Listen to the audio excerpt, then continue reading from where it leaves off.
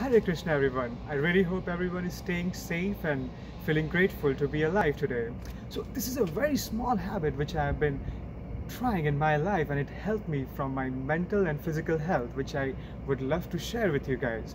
So today before we eat our breakfast, lunch or dinner, just, just, just like that, step back, take five seconds, just say thank you. If you believe in God, say thank you God for this amazing meal. And if you not, just say thank you universe for this amazing meal. So in this way, even if you eat one slice of bread or you have a whole meal in front of you, your soul will still be satisfied. Try this. Might it help me, it might help you. Have a wonderful day ahead.